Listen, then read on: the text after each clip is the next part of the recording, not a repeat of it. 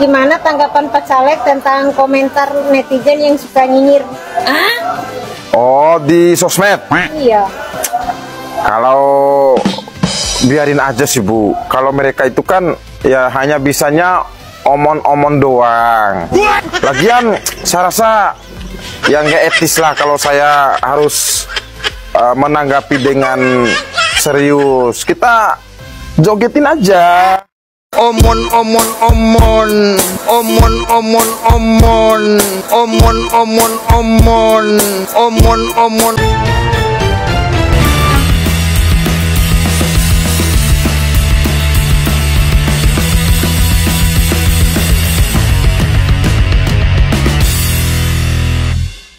Assalamualaikum warahmatullahi wabarakatuh. Bertemu lagi di Media Salik. Medianya para Salik. Sahabat Salik, apa kabar hari ini? Mudah-mudahan kabarnya baik Diberikan rezeki yang berlimpah Dimudahkan segala urusannya Amin Sahabat Salik Selalu ada cerita dalam dunia politik Dan lebih menariknya di era digital saat ini Masyarakat dapat melihat dan mengikuti perkembangan dunia politik, bahkan dapat merespon dan mereaksikan perilaku para politikus tersebut. Seperti yang lagi viral sekarang, kalimat omon-omon yang diucapkan Prabowo saat debat capres yang ketiga kemarin, langsung bermunculan beragam reaksi dari masyarakat. Dan pada video kali ini, saya akan menayangkan video reaksi tersebut biar semakin viral kalimat omon-omon Prabowo Subianto. Langsung kita simak videonya. Yo. Omon omon omon omon omon omon omon omon omon omon omon omon omon omon omon omon omon omon Hei, eh, Pak Caleg, Pak Caleg. ya Bu. Gimana tanggapan Pak Caleg tentang komentar netizen yang suka nyinyir? Oh, di sosmed. Iya. Kalau biarin aja sih Bu. Kalau mereka itu kan ya hanya bisanya omon-omon doang. Lagian saya rasa yang nggak etis lah kalau saya harus uh, menanggapi dengan serius. Kita jogetin aja. Omon omon omon. Omon omon omon. Omon omon omon. Omon omon omon Inilah arti kata omon-omon yang dilontarkan Prabowo saat debat Capres. Prabowo Subianto sempat melontarkan kata omon-omon saat menanggapi Anies Baswedan dalam debat Capres ketiga pada Minggu 7 Januari 2024. Dalam debat, Prabowo Subianto mengaku setuju dengan tanggapan Ganjar Pranowo terkait kerjasama dengan negara-negara selatan. Menurutnya, Ganjar bersikap tegas dan tidak hanya omongan belaka. Kemudian, Prabowo seperti menyindir Anies Baswedan dengan kata omon-omon. Lantas, apa arti dari omon-omon ya guys? kita mau mimpin, kita mau bawa agenda, kita mau cerita itu cerita, omong, omon-omon, ya. Tak bisa. Kenapa negara-negara selatan sekarang melihat ke Indonesia? Karena kita berhasil membangun ekonomi kita. Jadi tidak hanya omon-omon-omon, kerjanya omon saja, nggak bisa. Dalam KBBI, kata omon-omon memang tidak tersedia. Namun, jika dilihat dari isi pernyataan Prabowo Subianto, omon-omon bisa diartikan sebagai omong-omong atau omong kosong. Maka bisa kita simpulkan bahwa maksud dari Prabowo adalah sebagai seorang pemimpin harus memimpin dengan memberi contoh bukan sekedar omong kosong. Bisa jadi juga maksud Prabowo Subianto adalah omong-omong, hanya saja artikulasinya saja yang kurang jelas.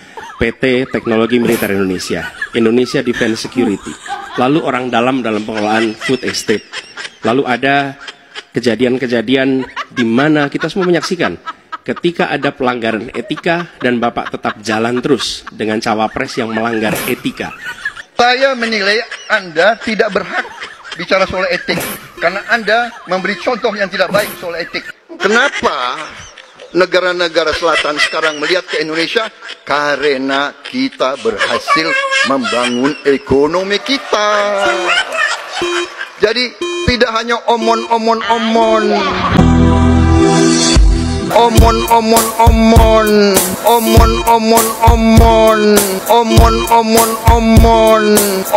omon omon omon omon omon.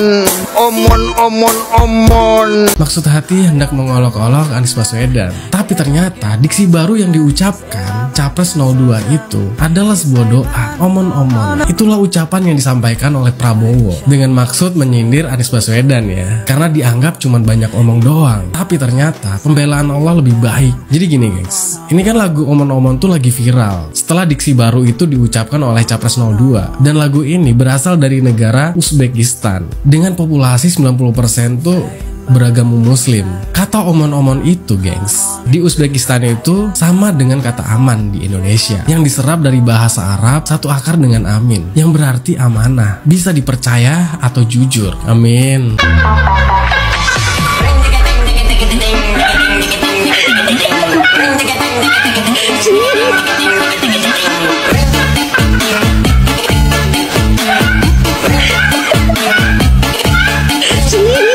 Jadi tidak hanya omon-omon-omon Kerjanya omon saja.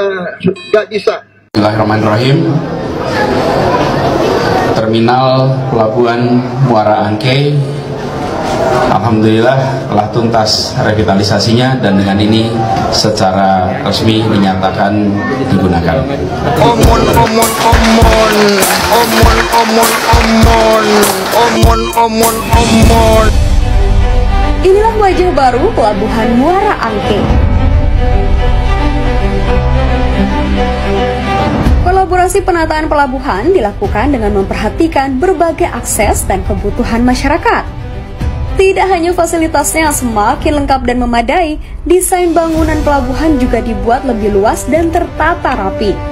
Seperti penyediaan signage, tempat parkir yang luas, kantin, sistem gate-in di pintu masuk, taman, eskalator, lift, kamera CCTV, musola, toilet untuk umum dan disabilitas, serta ruang tunggu yang semakin nyaman. Selain itu, pelabuhan ini juga dapat menampung hingga 2.000 orang wisatawan dari domestik maupun mancanegara. Terdapat dua jenis kapal yang melayani rute perjalanan menuju Kepulauan Seribu. Kapal angkutan penyeberangan yang disediakan Pemprov DKI kapal angkutan penyeberangan yang disediakan oleh masyarakat. Omon-omon. Ya. Omon-omon. Ya. Tidak hanya omon-omon-omon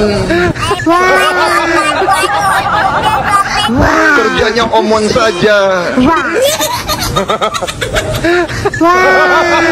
omon omon omon. Omon omon omon. Omon omon omon. Omon omon omon. Omon omon omon. Omon omon.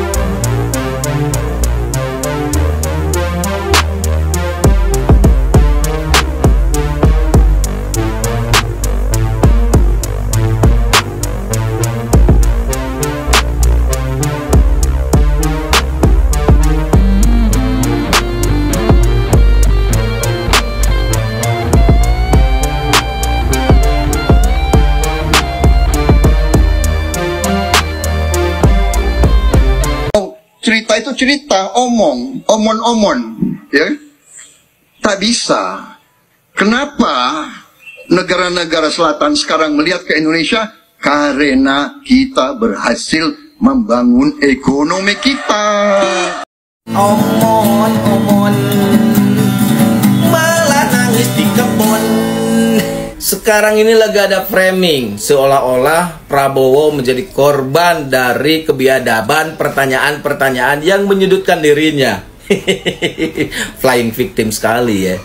Jadi sebetulnya yang namanya debat itu memang kan wajar saling serang. Contohnya di debat pertama Pak Prabowo mempertanyakan 80 triliun untuk DKI Jakarta apa solusi yang sudah dilakukan untuk masalah polusi di Jakarta. Nah, sekarang dibalik pertanyaannya, anggaran 700 triliun di Kemenhan apa kemudian yang sudah dilakukan Kemenhan? ya wajar dong mempertanyakan. Hasilnya seperti apa? Mereka menilai sendiri hasilnya. Ada yang menjawab 5, ada yang menjawab 11 dari 100. nah, itu kan penilaian orang di luar Bapak. Ya wajar dong. Ya kalau kinerja Bapak dinilai segitu, ya nggak apa-apa kalau memang segitu hasilnya. Omon omon omon omon omon omon omon omon omon omon omon omon Omon omon omon. Omon omon omon. Omon omon omon. Omon omon omon. Omon omon omon. Omon omon omon. Omon omon omon. Tukang marah jauh-jauh sana. Aku mau pindah. Bapak tukang marah cepat dong ke sana. Aku sudah resah kok gagal semua Aduh bagaimana Wajar aku singgung Singkong jadi jagung Eh malah tambah bingung Itulah video-video reaksi dari para netizen. Sangat kreatif kan? Terima kasih sudah menonton video ini dan tonton video-video media salik yang lainnya. Wassalamualaikum warahmatullahi wabarakatuh.